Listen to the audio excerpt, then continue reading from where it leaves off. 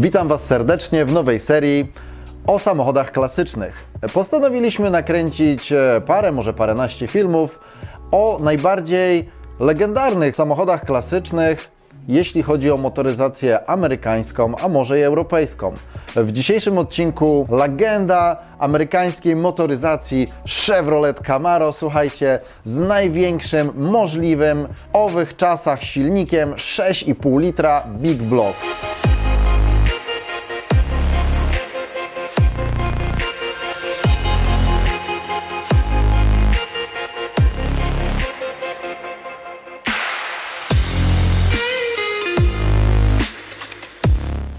1964 roku Ford wypuścił na rynek model o nazwie Mustang. Ten model podbił serca amerykańskich miłośników motoryzacji takiej z pazurem, powiedzmy, sportowej. Był to jedyny na rynku pojazd, który mógł zabrać cztery osoby z wielkim silnikiem. Coś wspaniałego. Chevrolet w tym momencie nie miał w swoim segmencie tego typu samochodu. E, posiadał Chevroleta Corvette, który był dwuosobowym, szybkim samochodem, natomiast w tej klasie nie miał nic. Kiedy ogłoszono inaugurację, zebrano dziennikarzy z całych Stanów. Słuchajcie, to było wielkie wydarzenie. Zdaje się, że w hotelu Hilton. E, relacja z przedstawienia tego modelu była transmitowana wtedy na żywo i em, dziennikarze zapytali przedstawicieli General Motors, dlaczego Camaro.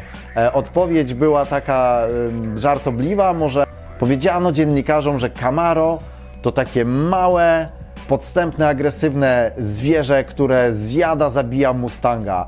I to się przyjęło. Dlaczego amerykańska motoryzacja fascynuje nas do dziś? Słuchajcie, podejrzewam, że jednym z powodów jest to, że w latach 60. już te silniki wielkie V8 paliwożerne potrafiły mieć po 350 koni, e, potrafiły rozwijać prędkość powyżej 200 km na godzinę.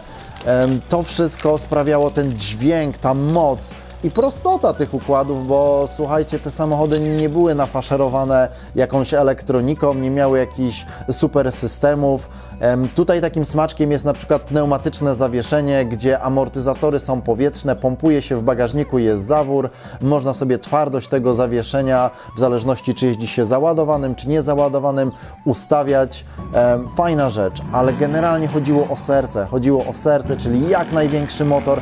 Te samochody wcale jakoś świetnie nie trzymały się na zakrętach. To były takie auta do szybkiej jazdy, słuchajcie, dla miłośników prawdziwej motoryzacji. E, Jeśli chodzi o ten, słuchajcie, model Camaro, nie ma ani wspomagania, ani klimatyzacji, ani żadnych systemów e, dodatkowych. Ciekawostka, w latach 50. była już klimatyzacja dostępna jako opcja, było wspomaganie kierownicy, to u nas w Europie e, dużo później i w autach luksusowych te wynalazki zostały wprowadzone do, do produkcji. Natomiast wyobraźcie sobie, że w latach 50. Cadillac e, potrafił mieć bagażnik klimatyzowany, żeby chłopaki w Kalifornii mogli sobie zimne piwko wieść e, na pustyni. Na rynku te samochody były dostępne z silnikami rzędowymi, sześciocylindrowymi, albo z silnikami w układzie V, czyli V8. Taki silnik jest tutaj. Były to small bloki, czyli 5-7 litra, albo big bloki, czyli taki jak tutaj siedzi, 6,5 litra. Te silniki mogły mieć do 350 koni i słuchajcie, w 68 roku najsilniejsze wersje te RS przyspieszały, uwaga, niebagatela 5,4 sekundy do setki, do 100 km na godzinę. Amerykanie mierzą to w milach, czyli od 0 do 60 mil na godzinę. Ten Big Block, czyli ten silnik 6,5 litra, to był największy wtedy możliwy silnik, który można było kupić w tym oto modelu. Była co prawda wersja Copo, ale to już trzeba było mieć układy i, i znajomości, żeby silniki z korwety, zdaje się 7-litrowe, e, na specjalne zamówienie mogły być montowane w tych samochodach, ale nie były dostępne e, w sprzedaży dla zwykłych śmiertelników. Więc to jest 6,5 litrówka Big Block. Auto z największym możliwym silnikiem w roku 1968.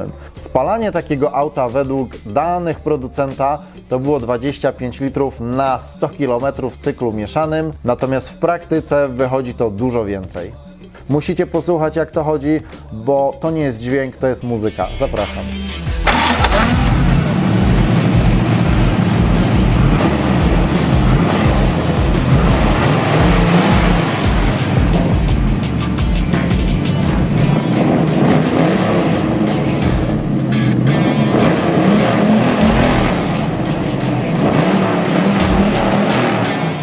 Teraz ciekawostki, kochani. Kluczyki. Kluczyk w latach 60., 50. wyglądał tak, jak kluczyk do szafki e, na siłownię czy do kłódki. Słuchajcie, wiecie, jak dzisiejsze kluczyki z baterią, z immobilizerem wyglądają.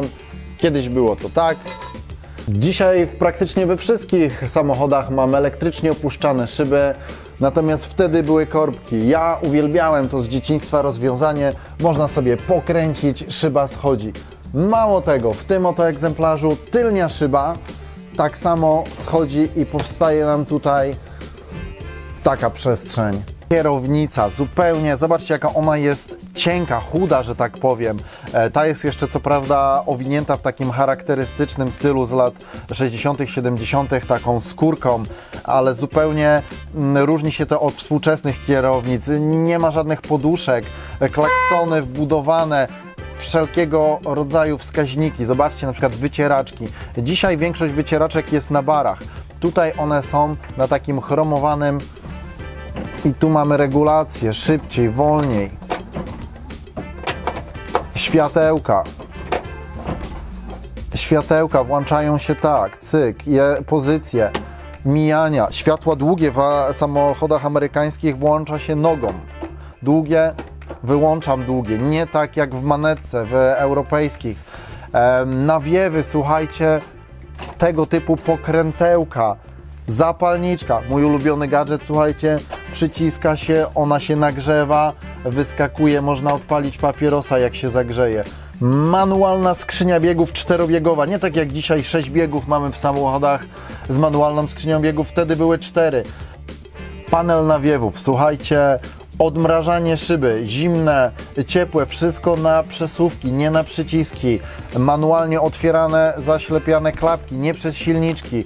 W latach 60. bardzo częstym rozwiązaniem wlew paliwa był z tyłu, co tak naprawdę ułatwiało nam tankowanie z prawej czy lewej strony dystrybutora.